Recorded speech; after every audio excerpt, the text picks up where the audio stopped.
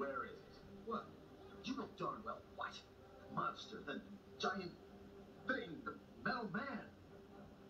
Ah, the metal man.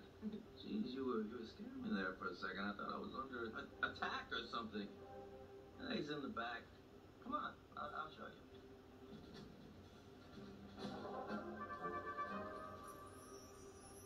You guys got here just in time. This rich cat, you know, some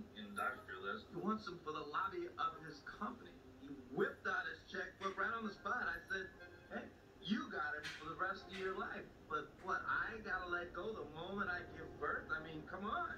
Give me some time to cut the umbilical, man. Here he is.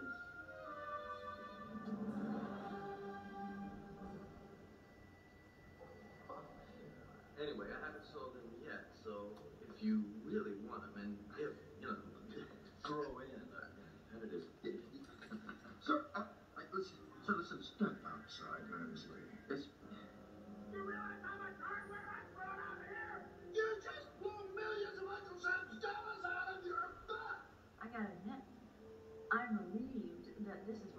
was talking about. I mean, I was beginning to um, think it was real.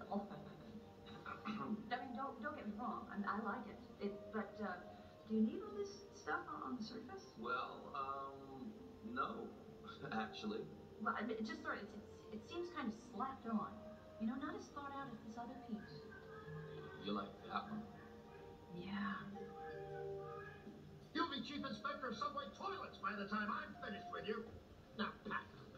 I'll expect you back in Washington to clear out your office. Yes, sir. Hmm. I see why Hogarth sneaks out here. You mean you know about that? now I do.